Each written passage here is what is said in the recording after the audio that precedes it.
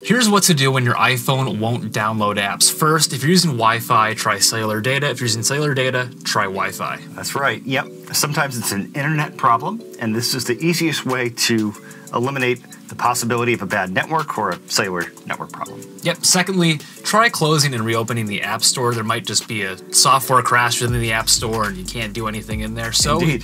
if your iPhone has Face ID, swipe up from the bottom to the center of the screen swipe the app up and off the top of the screen. If your iPhone has a home button, double press that home button.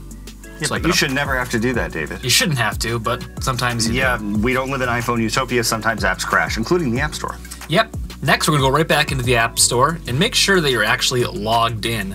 So if you tap on your account icon, upper right hand corner of the screen, if you're not logged in, or probably be like a little gray person. Gray person.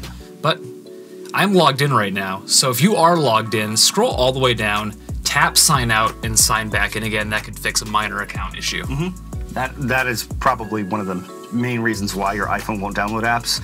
Apple ID problems, and we're going to address some more of those a little bit later on in this video. But before we do, what's next, David? We are going to check our payment method. If the payment method on your iPhone is out of date, I recently got a new debit card, had to go in and update that information. and you didn't even tell me. Didn't even tell you. So let's go to the settings app, tap on your name at the top of the screen, then tap payment and shipping. Here you'll see a list of your payment methods. Check out your payment methods. You can tap on it. We'll blur all this out. I guess it's already blurred out thanks to Apple. Uh, and just make sure all this information is up to date. If it's not, that's probably the reason why it's not working. That's a good point. All right, so now we got to check date and time settings. Date and time settings matter because of security. The way that security works in the internet and with the Apple App Store with a bunch of things is that it checks to see what time it is on your phone and compares that to the time that the license, the certificate was issued. So if they don't match, there's problems.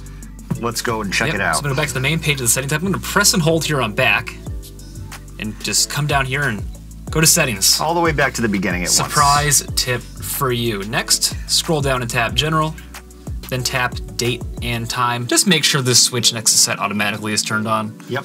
That's it. That's it. Easy. If it's not turned on, turn it on. Turn it on. I can fix all sorts of problems. Next, Well, we're gonna restart our iPhone. Could be a software issue. Restart it, turn it off, turn it back on, give it a fresh start. yeah. That's kind of the go-to fix for a lot of problems, You know, Uh, you, you restart your iPhone? You can't unplug it and plug it back in anymore. So this is what you can do. Yep. After restarting your iPhone, check for an iOS update. App Store is a native iOS app. To update it, you need to update the software on your iPhone. There's no App Store updates in the App Store. You can't update the App Store from the App Store. Right. That would cause some sort of a problem, problem in the space-time continuum, I think. Let's tap back to General, then tap Software Update, and here just check for an iOS update. If one's available, tap Download and Install. Wow, we're burning through this one. We're burning through this one. It's running through to my soul. Next, check out Apple's system status page. We'll link to that in the description section below. What you'll find there is a whole bunch of Apple services, and when things are going well, there's a bunch of green dots. When things aren't going well, there are orange or red dots. Make sure the dot next to App Store is green. Indeed. And the dot next to Apple ID Yep. is green, and if, if there are a bunch of red dots, you know, just leave it alone for an hour. Apple will fix it. Come back. The next tip we want to tell you to do is to go to appleid.apple.com on your iPhone or on your computer. It doesn't really matter which, but do so in Safari or Chrome. Use a web browser. Don't use the settings app because it's not the same thing. A lot of times, what happens is security questions need to be reset. Mm-hmm. That was usually what the problem was at the Apple Store. And so then we would just have people log in, and, and all of a sudden, if you go on the website, something will pop up and say, like, hey, your account password has expired, or you need to turn on two step authentication, or your security passwords need to be updated. And, and then after you're able to log in successfully, then that sort of unlocks everything in the App Store. So go to appleid.apple.com. Link in the description.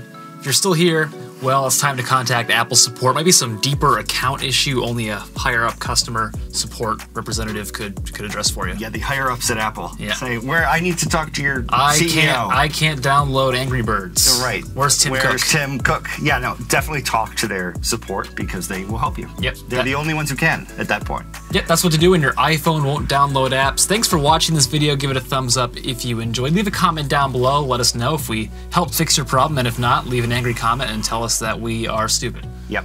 And don't Wouldn't be the first time. Yeah, and please subscribe. please join this channel. We'd really appreciate it.